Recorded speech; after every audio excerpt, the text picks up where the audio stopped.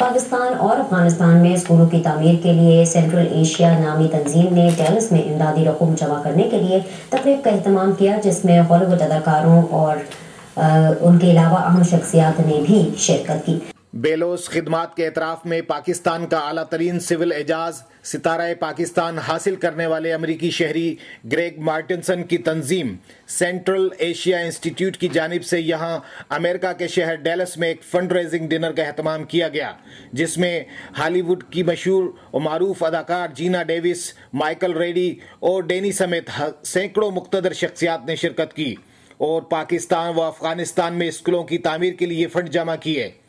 Hollywood अदाकारा जीना Davis ने कहा कि तालीम के ज़रिए ही तमाम बुराइयों का खात्मा और दुनिया में अमन कायम किया जा सकता है।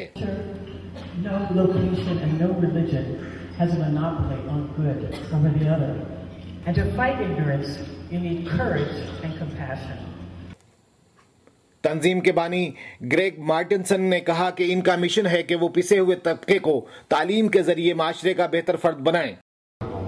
Very big difference between helping and empowering. And Empowering begins with education. If we educate a boy, we educate an individual.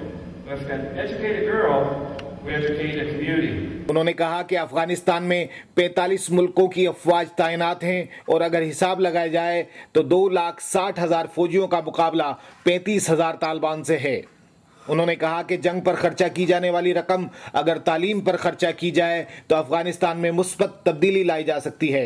आखिर में सूफी कव्वाली का अहतमाम भी किया गया।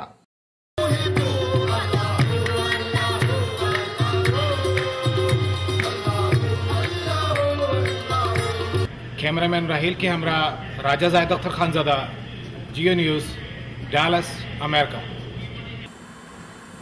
और अब हम बुलेटिन में शामिल करेंगे कि फौजी अफसरान की बेगमात ने भी फायरिंग की तरबियत